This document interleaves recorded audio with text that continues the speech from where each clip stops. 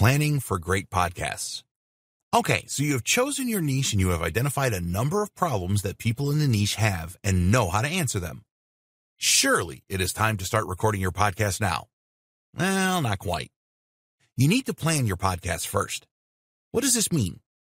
Well, how will you brand yourself in the world of podcasting? This is more than just selecting a great name for your podcast or getting great cover art designed. It is about how you want your listeners to know your podcast.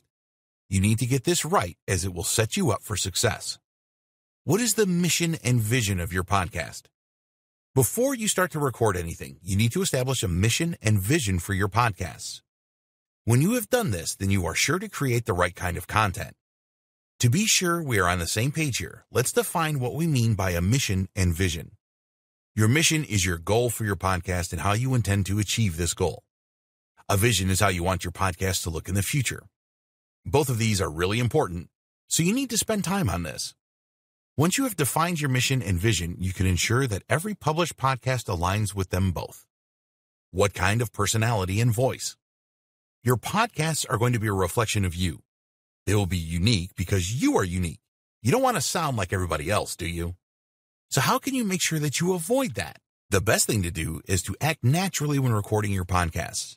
Speak normally as you do in real life. There are no censors and nobody is there judging you. You may want to avoid using certain words if you think that they are not going to resonate well with your audience, though. You should always come up with a catchy tagline for your podcast.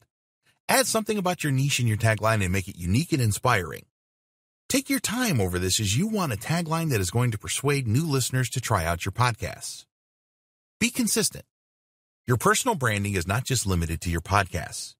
It is best to be consistent with all of the platforms that you use.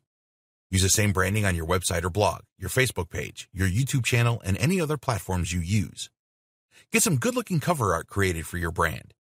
If you don't have any graphic design skills, then head over to Fiverr.com and pay a few bucks to someone good to do this for you.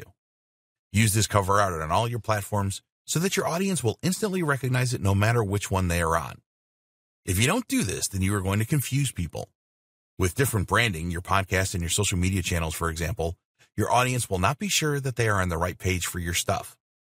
Create a community around your brand. People love communities as it provides them with a sense of belonging. The best podcasters always foster a sense of community with their listeners. As an example of this, there is a popular podcast series called Entrepreneurs on Fire by John Lee Dumas. He calls his listeners the Fire Nation to instill a sense of community. So if you're going to create a podcast about online marketing, you could call your audience the digital marketing geniuses or something like that. If you are already well known on other channels and have a specific branding, then keep this going on your podcasts. Be sure to set up all of your other channels if you don't have them. You want to do everything that you can to make all of your listeners feel very special. When they tune into your podcasts, they feel great because they are a part of the digital marketing genius community or whatever you have called it. So you need to put in a bit of time planning for your podcasts. This is time well spent as your listening audience will appreciate what you are trying to do for them. A strong community will always be on your side, unless you break your own rules and they will want you to keep producing your great podcasts for a long time. For more free educational content, visit learnforfree.biz. Content produced and distributed by AllSuperInfo.